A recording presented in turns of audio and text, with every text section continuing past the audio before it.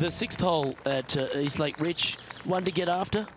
You don't need to be long off the tee, Luke. It's only 525 yards, but the second shot plays straight back up the hill, so a little length helps.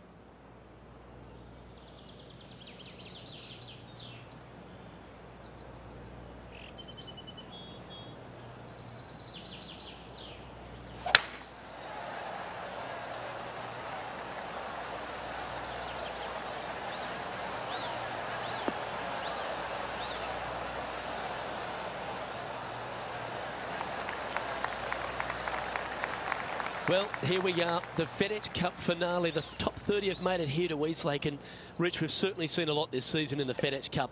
But that huge bounty's on the line.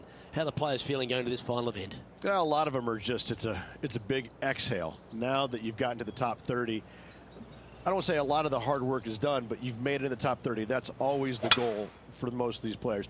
Some of the elite, they're looking for that number one spot, there's no doubt.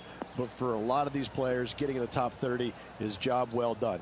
Now it's just going out there over the next four days, trying to relax as best as possible and see if they can't make the final push to win one more tournament.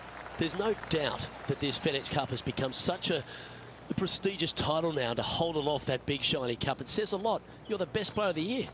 It does, and I think that it's actually taken on a life of its own because when they first started the FedEx Cup playoffs, nobody really was too sure exactly how it was going to pan out. But now, with the culmination of the Tour Championship and handing out the FedEx Cup trophy, it really is a big deal to these players. They they want it, and you can see it at the end of the year how much it means to them to be the best player of the year.